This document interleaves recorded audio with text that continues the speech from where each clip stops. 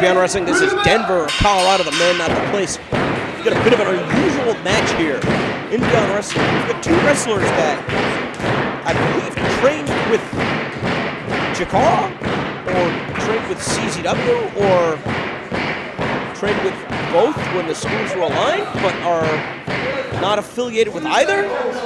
But are wrestling here at CZW? I, I don't know. It's a little bit complicated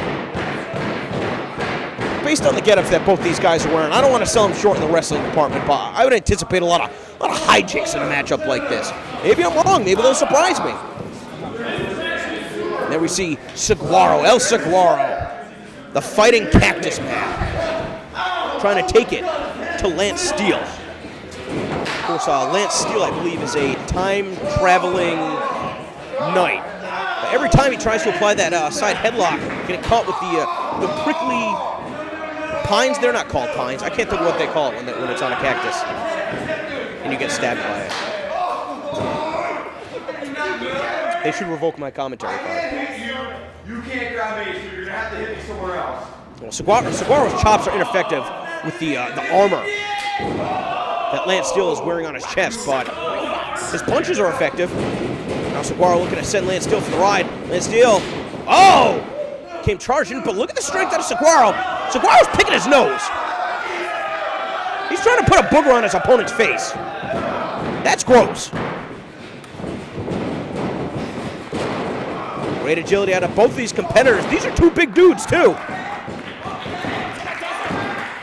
But Saguaro, one of the strongest members of the Beyond Wrestling roster, hasn't had an opportunity to show off that strength so far in this match. This Lance Steel, perhaps he went to the future to see the results of this match and then changed up his strategy. Does that happen?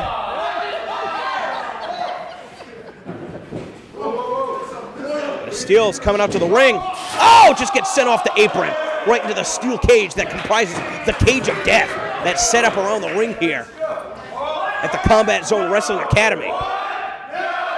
Saguaro looking to fly. I mean, you've got the what no chance out of the other wrestlers, and perhaps a discretion is the better part of valor. That's not what they say.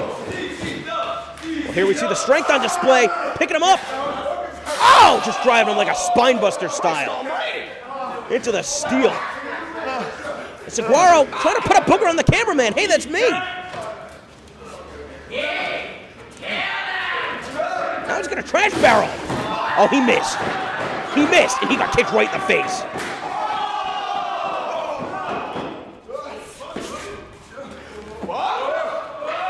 Oh! Now sent to the steel cage. The cage is almost falling off the wall. I'll tell you what, for two Chikara looking motherfuckers, these guys are certainly pretty comfortable here at the combat zone. Trying to punch him again, but fist to spike. Oh, now just kicking the chair away from him. The Irish whip into the into the into the garage door. Oh, now the cage is falling down. All right, all hell is broken loose. What kind of a match is this?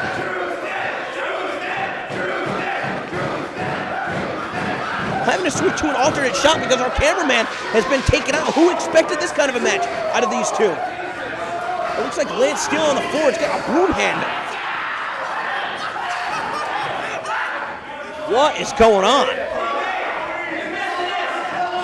Oh, he's choking away at him. Referee can't even put a stop to it. Finally back in a position to capture the action on the floor. Hey guys, don't drop a steel cage in my head. What do you want? Catching him with that broomstick and across the back. Lance Steel perhaps feeling comfortable with a joust in his hands. You know what I mean. Oh, just slamming him on the concrete. Why not? You already slammed him into the garage door. You slammed him into the steel cage. Are there any thumbtacks? Is there any barbed wire laying around the CZW Academy that we haven't exploited yet? Referee Chris Levin better be careful. I think that think that Saguaro's trying to put a booger on him. Well, the wrestlers here at Beyond Wrestling are certainly a fan of what they've seen so far. Hopefully you are too, but this match is, is far from over, best as I can tell. And look at the strength again, picking up his opponent. Going to be close to 250 pounds right off the mat and driving him down with that rib breaker. Probably better suited to fucking. Now he's going to powerbomb him in the corner. Some of the other wrestlers don't think, don't think Saguaro can do it. Picked him up with ease. Taking too much time though. Still slipping out the back door. He's got that fireman's carry roll. Following up with the senton. Give the credit to the suit of armor. Instead of going for the pin, he's trying to tie up the large legs of Saguaro. Now he's going to hook behind the knees. And he's trying to flip him over for that Boston crab. Can he get Saguaro to submit? I still can't think of what the, the sharp part of a cactus is. They're not called pincers, are they? Can somebody leave a comment and tell me? Are they called spikes? No. Either way, Saguaro looking to connect with them, taking too much time with the diving cactus-assisted headbutt. Those thumbtack-like uh, barbs on the top of his head. Barely even stirring.